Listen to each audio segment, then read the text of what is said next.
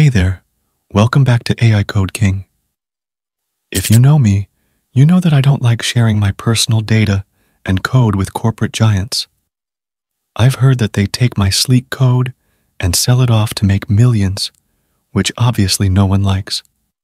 But when AI started popping up and people began suggesting the use of things like ChatGPT, Claude, or Copilot to generate code, I was hesitant.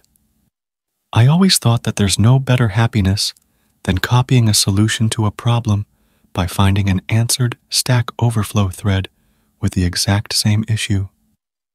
So, I was a little suspicious. However, I decided to give it a try. And when I tried opening those sites, they presented me with a big ass privacy policy to accept. And I understood that there's something fishy here.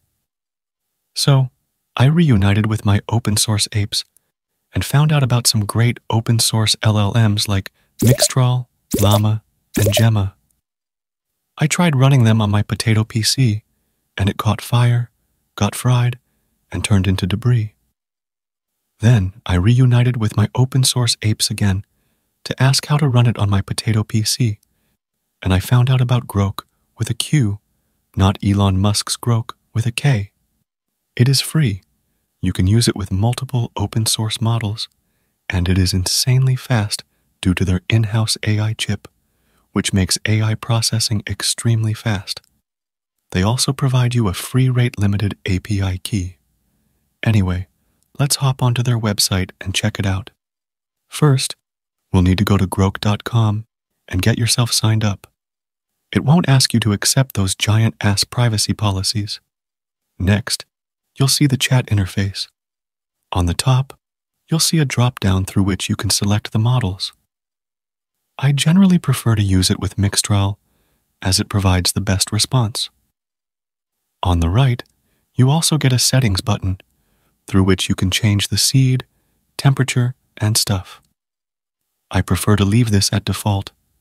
Now, you can enter your prompt here. Let's ask it if it knows coding. It generates responses extremely fast. It is faster than Claude, ChatGPT, and Gemini.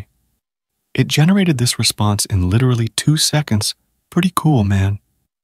Let's ask it to create a snake game in Python. Great. It generated the code in literally three seconds. Now let's check out their API. You can click on Groq Cloud from the sidebar. You'll be greeted with a new page called Playground. Go to API Keys option and create a new API key and copy it. It will work just well like any other OpenAI API. You can easily use it in OpenDevin, Devika, and whatnot to generate AI responses. It is fully free, although it is rate limited, so you can't spam it with questions, but if you use it in general tasks, it will work pretty well. Also, the API is just as fast as the platform's responses.